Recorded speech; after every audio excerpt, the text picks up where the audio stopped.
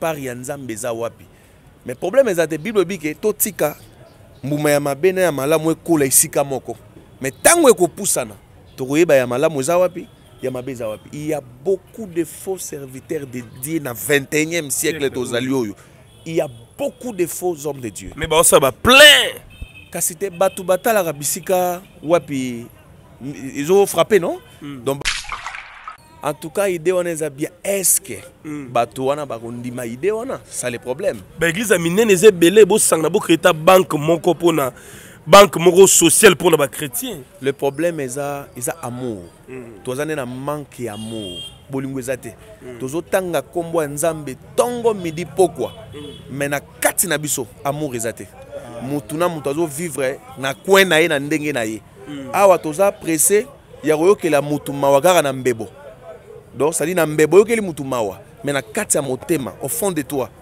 mawa wana eza te amour eza te voilà namona yango awa récemment mwana moko ya, ya moke oyo tiomona ya mobali boye mm. monana na lokoti ye pembeni ya église moko monene nakotanga nkombo te mm. mais oui baboki mwana tout près ya église tout près ya église mais baserviteur baza wana bazokota rien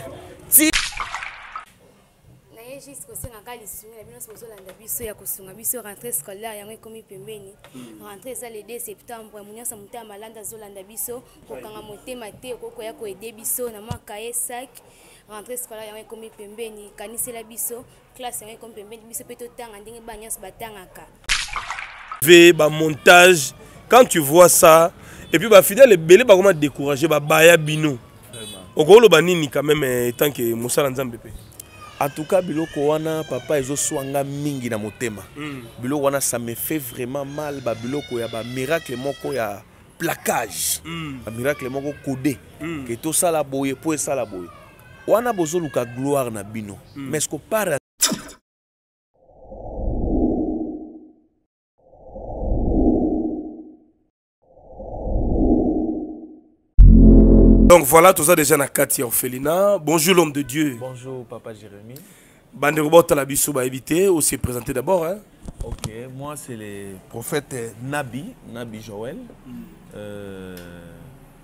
Kolo les rochons felina hmm.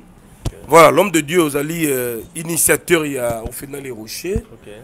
leo toye kovisite yo quand même boni état de santé ya bana et puis toyeba effectif na bango eza à peu près combien bana yango baza kitoko okay. oui donc ngolo ya nzambe ezali donc euh, ngolo ya nzambe ezali kaka ndenge ozomona soki hmm. nzambe abateli te hmm. moto abe abateli asali mosala na pamba hmm. oza na bango bamosusu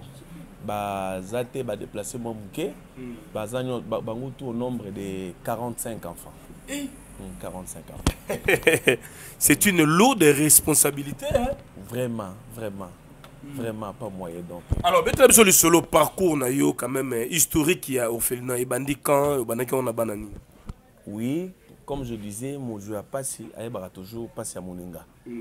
donc euh, l'autre fois je vous avais dit bisika nzambe azwa ngai mm. bisika nzambe azwa ngai na bamaladi to abikisa ngai tout consort mm. alors j'avais dit au seigneur que il faut naluka ndenge nini ya kozongisela ye mwa babolamu wana mm. alors j'avais trouvé bon que nazongisela ye bolamu par rapport ya ko kosangisa ata bana mm. kozala na bango voilà tout conso parce que mm. na rythme na biso ya mboka oyo donc il eh, y a trop de problèmes trop de problèmes donc eh, donc orphelina oyo mm. base na yango euti na lobiko na bien sûr kolobi biso na maladie ya pasi na bomwana na yo oui.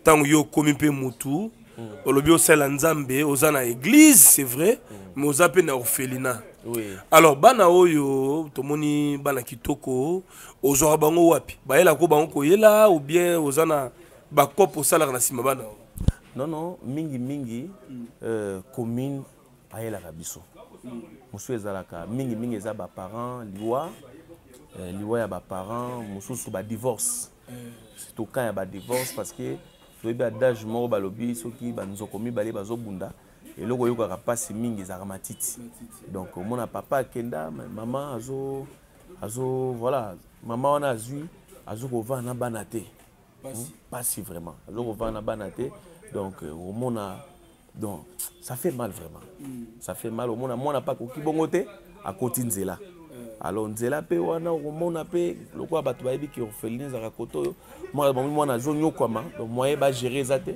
bakozwa ye amemeli yo awa voilà neti oyo ozomona bebe mm.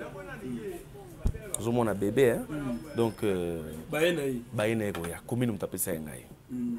donc euh, alors entre temps il faut euh, leur entretien balia ba se vêtir et puis ba soins médicaux mm -hmm. classe lisusu alors ezali euh, chose qui n'est pas facile actuellement na mboka na biso na ndenge vie pe komi cher saki aloso emati saki asemule emati masango emati huile eza ya komata alors fo baliaka tous les jours alors nayebi te Qui est derrière toi, l'homme de Dieu En tout cas, derrière moi, il y, a que le Seigneur, il y a Dieu. Ceux qui ont dit que na simananga za mutu moko to partenaire moko officiel azate. Azate c'est juste eh, bato mitema malamu kaka. Parce que bato bato mitema malamu partout bazanga raté. Oui. Eh na mitema malamu amoni ndenge bana bazo souffrir ya moi 10 francs na ya tie. mwa loso ye donc vraiment partenaire officiel aza te dozomona ngolu ya nzambe na ngolu ya nzambe toza na partenaire officiel te donc tu te sacrifies pour ces enfants bien sûr bien sûr na mwa moke moke kola azopesa mwa ndambu ndambu dozomona bazolia bazolata dozomona bango bodonke mm. mawa nzambe papa alors mawa nzambe à tous et à toutes euh, bozomona réalité bana baza tellement beau vraiment namoni bana mike ya kitoko ça fait mal baparent tobatelaka bana tolingaka bana euh, baza bien encadré sikoyo toza mpe na temps ya vacances c'est déjà la, la fin ya vacances Tout à fait. le 2 septembre oza début ya rentrée scolaire ouais. parmi bango je crois que baekolier na baekolière baza Tout à fait. Mm. Orphelina, Les Rochers, mesdames et messieurs, bonjour et bonsoir, vous nous captez de partout. Nous sommes ici à Kinshasa, au quartier Mombele. Le tour ça la émission spéciale AO avec euh, un serviteur de Dieu. Je crois que Isa, cadre oh, au hébergement à Bana, comme vous le savez, le Congo, la réalité, elle est tellement compliquée.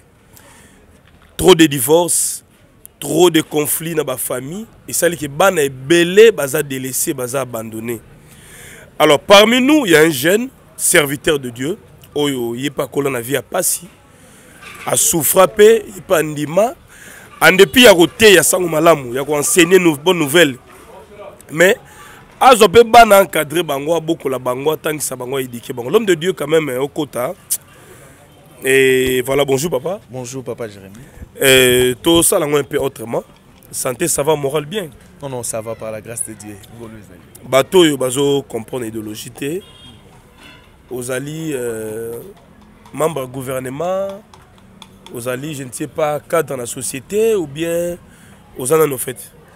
Non, non, en tout cas, naza ni au membre na gouvernement ou mm. nini te. Mm. En tout cas, on vit seulement par la grâce de Dieu. Mm. Par la grâce de Dieu, on est là, on vit que que place moko boye nakenda kozwa mbongo chaque fin du mois mpo na bana en tout cas ça non alors bon d'abord évolution ya ministère oyo nkola apesi yo oza prophète est ce que ça évolue ou bien otiki no masolo ya église en tout cas wana nakoki kotika te parce que mm. base eza nde wana base eza wana en tout cas mosala ya nzambe ezokende très bien par la grâce de dieu mm. et ya toujours bato bazoya kondima nzambe parce que tokozala na bapleine église mais soki ata ame moko te azobongola motema ça ne sert à rien mm. néanmoins baza moke mais bacomprendre que jésus christ est seigneur ce qui est important Alors, ce qui est important, c'est de sauver les âmes, les gagner dans le Seigneur. Nde musala boko sala, mais babengi yo prophète est-ce que oza pe na don ya komona, omona rapé, to ezaka titre babamba yo kaka. En tout cas, hmm. domaine nanga penza yango wana. Domaine nanga yango wana en tout cas. Hmm. Nzamba salanga grâce moko apesanga vraiment misu. mm. ya komona esukaka kaka na komona te mm. namoni toprie mpe nzambe apie solution mm. uh, nde ma domaine oyo nzambe asalela ngai mingi yango wana mpenza alors c'est depuis quand ozwa initiative ya kosala orphelina ebanda ndenge nini olota na ndoto ozwa révélation ou bien okopiaka baninga non non mosala vraiment franchement eza kokopie te mm. oyo ezali uta na guérison na ngai hmm. l'autre fois tosaka no émission euh, nayebisaka yo bisika nini nzambe azwa ngai j'étais hmm. vraiment informe et vide nzambe abikisa ngai na maladi moko ya somo maladi wana ebomela ngai 4 sœurs bakota mabele natikala ngai moko maladi ya ss mm. e, donc e, eh, deformaki ngai nazalaki mutu libumu donc, donc j'étais ozalaki inutile inutile na société mm. nazalaki vraiment inutile na société donc tu sens que valeur eza te moto akopesa chance aza te mm. alors j'avais prié au seigneur ke nzambe soki obikisi nga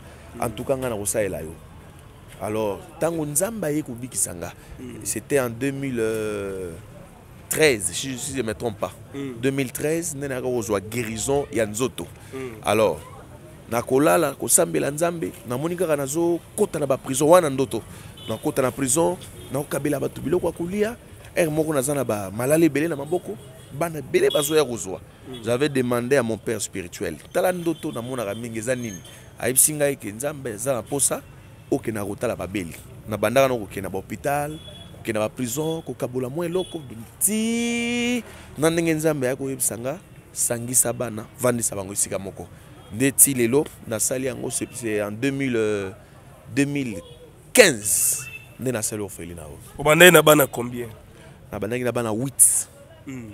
nabandaki na bango 8 euh, 8 wana donc Nazwa bango kaka na ba nzela parce que epa na biso awa affaire eh, divorce eza makasi. Mm. Divorce eza mingi donc nazoyeba te babalaka mpo na mawa te ntango ozobala faut s'assurer libala eza eloko ya bana mike te eza mpe ya mikolo te eza ya bato baza mature lelo ekomi bato babali 2 ans 3 ans bakabwani alors kokabwana wana mwasi oyo azoya wana kokota azolinga bana te hmm. mobali wana mpe azoya azolinga bana ya mwasi te alors nde ekomo cree ba coq argent donc momona ebele ya bana lelo na banzela tozobenga bango les enfants de la rue mm. mais balabala ebotaka te bashege bana bakomi bakuluna alors que les églises sont là en tout cas c'est une très bonne initiative parce que bapaster mingi balingaka korecevoir ye azwa dime azwa offrande galate 67 galate 67 galate 67 mais bango bapesaka te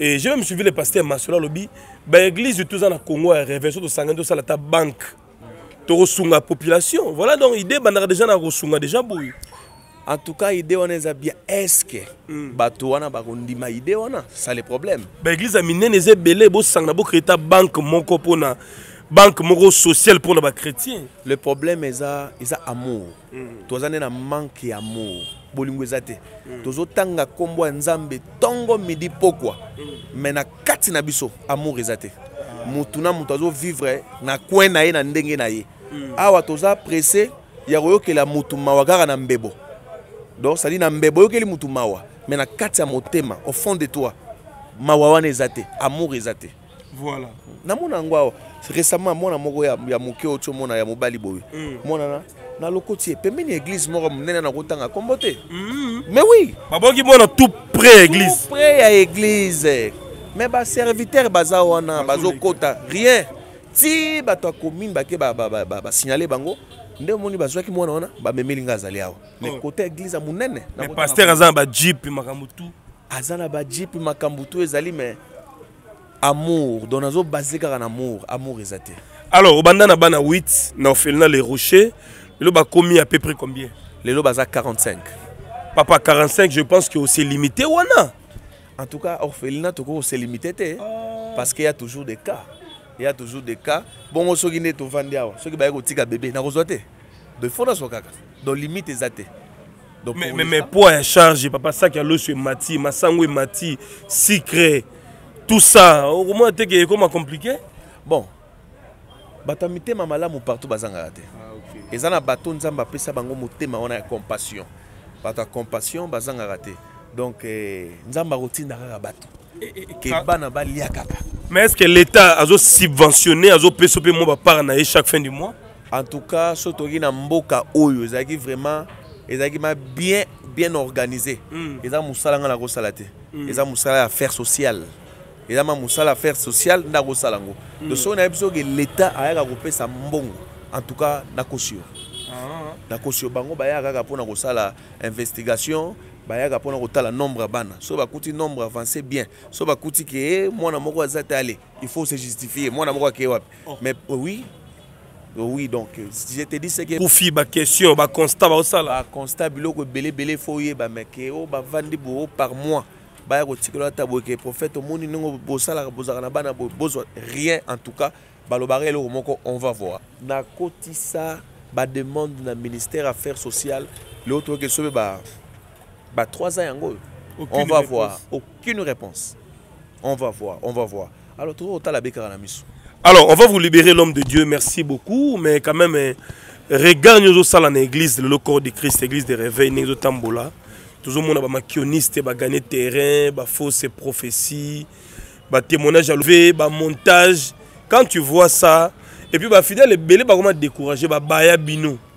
okoloba nini quand même eh, tant que mosala nzambe mpe en tout cas biloko wana papa ezoswa nga mingi na motema mm. biloko wana ça me fait vraiment mal babiloko ya bamiracle moko ya placage mm. bamiracle moko code mm. ke tosala boye mpo esala boye wana bozoluka gloire na bino mm. mais ce que par Part ya Nzambe eza wapi? Mais problème eza te Bible elobi ke totika mbuma ya mabe na ya malamu ekola esika moko. Mais ntango ekopusana tokoyeba ya malamu eza wapi ya mabe eza wapi. Il y a beaucoup de faux serviteurs de Dieu na 21e siècle tozali oyo. Il y a beaucoup de faux hommes de Dieu. Mais baosala ba plein kasi te bato batalaka bisika wapi ezo frappe non mm. donc baotala tout ce n'est pas de l'or nyonso engelaka eza wolo te mm. epe so oke wana eloko ya malonga eza te bakokende kozwa soki bato moko soki na, na bamboka moko na bafin fond kuna baye bapesi mwa 100 dollar zwa onganganga oh, oh, eh, oh, na yo tika bakisi lokuta se faux arsi faux landela bato wana oyo baya kotika bakisi ke otala bango na eglise wana soki omona aza su wana kaka le même dimanche wana soki oye dimanche mosusu okuta ye te donc c'est faux ya sifoti baplagia ce ne sont pas des serviteurs de dieu ezalaki eza marke ya bato toyebaka kala soki ozotambola na nzela bazolakisa maboko na yo totala soki nini to banganga kala lelo bakoma bango basala nzambe donc c'est faux ya sifo alors bato bazala besoin lisungi ya prière ba lien famille ba réclamation kindoki bato bazobela blocage tout ça topesi micro mwa 2 minutes hein, soki okopesa bango message hmm. en tout cas message na ngai eza nazoyebisa motu nyonso ozoyoka ngai de partout là où toi tu es si tu es malade le dieu de guérison est vivant Nzambe na nga opesa guérison. Ngai moko na nabikisa nga. J'étais dans le pétrin, mais le Seigneur Dieu m'a m'a donné la guérison. Quel que soit problème to oza nango. En tout cas, benganga. Nzambe na nga opesa guérison. Soko oza na malade, oza na problème à concevoir. Oza na problème moko lukeli yango solution depuis tamulayi. Ozui solution te. Benganga. Je vais prier avec toi et le ciel et qu'on répondre yo. En tout cas nzambe na ngai ya faveur apambola yo pasa yelo miracle. Adresse orphelinat. Naza na commune quartier. Oui oui, commune à Lumete, quartier Mombele sur l'avenue Kunzulu numéro 16. Orphelinat les Rochers Zawana, c'est-à-dire commune à Lumete, quartier Mombele sur l'avenue Kunzulu numéro 16.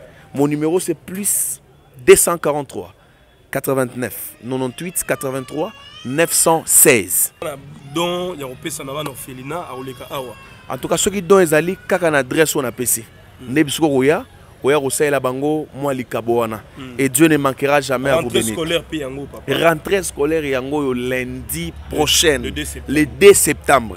en tout cas de partout bisika bozali en tout cas nabondeli bino bino bato nzambe apesa motema ya mawa mon numéro est là ata mwa sac na bano batanga ata mwa ketch ata mwa uniforme loboko moko elongolaka silite tosungana tosangana na motema oyo nzambe apesa yo tozongisa bano kelasi vraiment nzambe alola akozanga te kopambola bino voilà je pense que le message est lancé nous étions là toyokutana mosala nzambe parce que eza na bandeko ebele baza na besoin ya bonne nouvelle na temps oyo eza temps du soir bele bamipesi na bakisi mbongo ekomi kaka ya bakisi mituka ekomi kaka ya baloge basecte efongwami ebele alors mwa moke totikali tolingi nzambe eza avantage tosunga baorphelin tolinga nzambe ya vrai eh, bandeko bakobenga biso mpona basolution rapide pesanga numero ya maître spirituel mpo na bana na ngai balobaka te bana na ngai bana poto bakomi bavoyou bato ya bongo koyebisa bango bato bakomi mpe mwa limité baluka banganga mpo na solution rapide en tout cas hmm. kokende na babiloko wana te hmm. en dehors de jésus eza na motu te akopesa yo kimia la paix c'est basé epai na jésus christ jésus est capable de tout changer dans ta vie jésus est capable de restaurer ton corps restaurer ton âme oza na motu ozobelisa oza na mwana ozobelisa koluka bamaître spirituel te baza na eloko te na kati na bango yake di massange lokuta na lokuta eloko nini bango bakosala oyo nzambe alembani kosala bazoluka monzo des commerçants des aventuriers tout fait tala ekulusu alobaki sur la croix tout est accompli nyonso to ekokisamaki na ekulusu libanda ya yesu eloko eza te soki moto ateyoki en dehors de jésus moto ako reçu moto wana ayebi nzambe te mais oui mais ya beaucoup de prophètes lelo bajoel tatuba oloba yango qu'on peut réussir la vie sans dieu hmm? eza mateya moko oyo eza kokotisa bana nzambe na kati ya libulu egarement egarement bakotisa egarement te seke yo okoteya motu ke sans jésus oko réussir mm. na makasi nini na force nini hein? par quel moyen oyo oko réussir sans jésus oyo oh, ye mo alobi ke sans moi vous ne pouvez rien faire mm. sans ngai bokosala eloko moko te bokoma yo ko récit sans jésus donc c'est impossible mais c'est impossible ekotikala kosalema te te me malobi ya nzambe ezowumela bato bazoprie bazonyokwama ondire qui vous a dit ça moto azoprie azonyokwama te mm. kocompare physique na spiritualité omoni moto oyo asambelaka mm. kosakana na ye te ah. moto asambelaka aleki moto avandaka na gombe mayebi nzambe te oh. oui bien sûr parce que ye aza fort spirituel ozomona eza lokola oleki omoni ndako moko ya kitoko esi batongi mais na se ya ndako wana fondation eza te mais moto azoleka azolula yango mais ça c'est du bijou ça mais mokolo mopepule ekobeta mm. ndako wana ekosala nini ekokweya mokomona ndako eza nango niveau moko mais fondation eza même mopepe ebeti ndenge nini ndako na ekoya te c'est avec jésus mm. donc c'est avec jésus moto nyonso apriaka ana assurance makasi na vie na ye un aza fort spirituel d aza fort mpe physique tu vois eloko tout ebetaka na miso eza nango wolo te mm. tu vois diable ele malin ele risé azolakisa ye azopesa bato wana ozomona azoroule en carrosse mm. ozomona bilamba azolata azo influence ke ici ya quelque chose mais soki oke kuna aza mowumbu azosouffrir nous sommes bien avec jésus ya nzambe eumelaka te nzambe atelemaka na suka te atelemaka mpe na ebandeli te mais atelemaka na temps convenable quand dieu s'élève c'est fini mambutu evandi na vie ya moto c'est un peu ça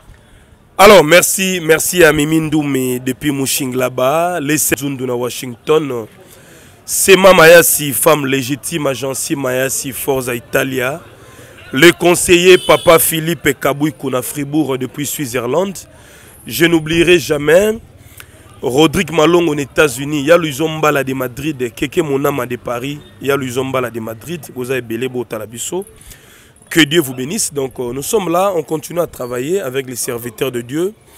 Tozo kolendisa bato ebele babongisi elikia baperdre foi boza égaré tozala toujours euh, ensemble voilà c'était l'essentiel euh, pour aujourd'hui regardons l'orphelinat botala bana assister bana surtout na temps oyo ya pasi rentrée scolaire mboka ezopela moto nayebi te soki papa tokosisa na barévélation eske oza na baprofession ozwi nzambe apesi yo message meme mpo na mboka to mpo na basala nzambe nayebi te soki oza na bamessage to bandoto ozwi oui oui bien sûr eza toza na moment oyo wapi euh, diable atelemi makasi diable atelema j'avais vu le bain de sang j'avais vu le bain de sang namoni sani monene ebele ya makila na kati me namoni baescalette tout autour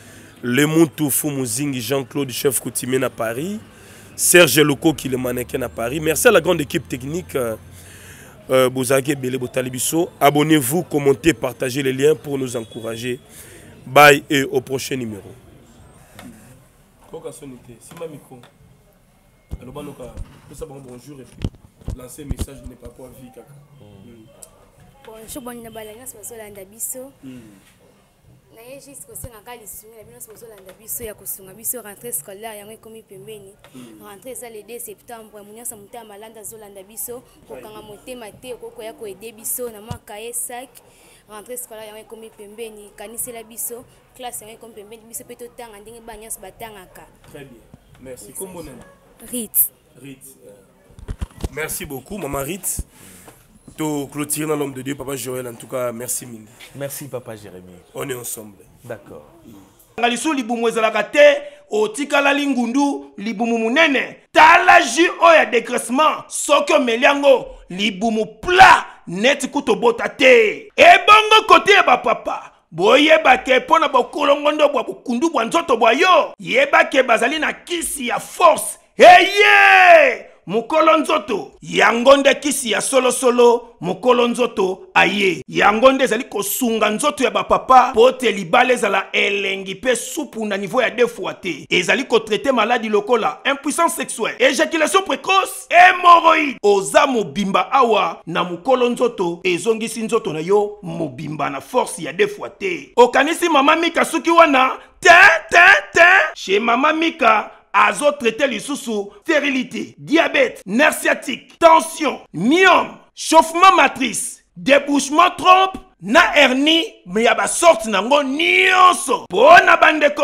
oyo bazali na basante deséquilibré o ngai nabelaka beriberi mwana na ngai nzoto ezali mpenza petepete alembaka pambapamba yeba ke awa ezali na babui 100 bio tonga nzoto na nivo ya nyama mpo te nzoto na yo ezala pena kolongono ya solo soki omeli potopoto oyo okozala mobimba mpe sante elengi neti kaka na lola kote cosmetique ebiso e mama mika reparatrice ya loposo mpo nivo aza kotraite banzoto ya basi mpe mibali palado madame palado monsieur bazali na baproduit lokola huile danana savon antinduta antitampon antitache yango nde mobimba bazali mpe lisusu na crème de beauté te métis ozongi pembe cheron epuis lisi ya nyama gommage bazali kosala yango kitoko joli pomade ya suki plus huile pomade vimbovi mpo na bapapa oyo bazalaka dimitri kuna na bayendisa bango bakobonga kitoko mpo azonga mpenza mobimba lokola mobali ya solo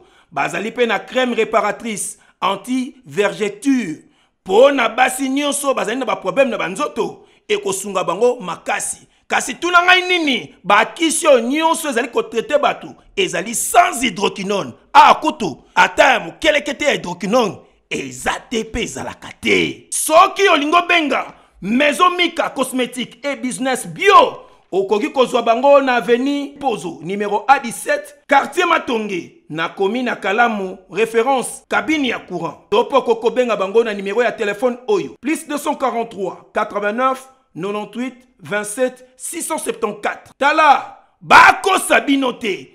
Maison Mika Cosmétique et Business Bio awa 100% bio mpe sans hydroquinone na baproduit na bango nyonso. C'est naturel! Oh!